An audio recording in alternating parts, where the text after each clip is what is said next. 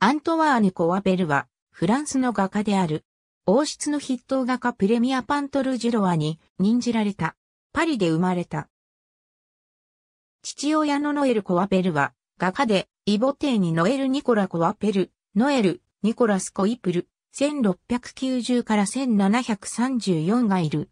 ノエル・コワペルは、フランスの王室で有力な画家となっていて、1673年にローマの在ローマフランスアカデミーの校長に任じられ、12歳のアントワーヌは父親と1673年から1675年の間、ローマに滞在し、父親から美術教育を受けた。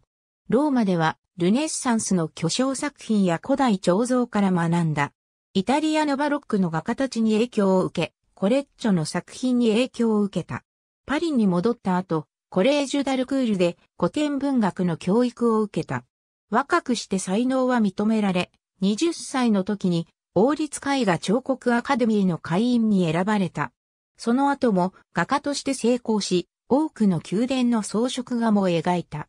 1710年に王室絵画コレクションの館長になり、1716年に王室の筆頭画家プレミアパントルジュロワとなった。パリで没した。1688年にマリエ・ジャンヌ・ビデアウと結婚し、息子のシャルル・アントワーヌ・コワペルは歴史画家として知られる。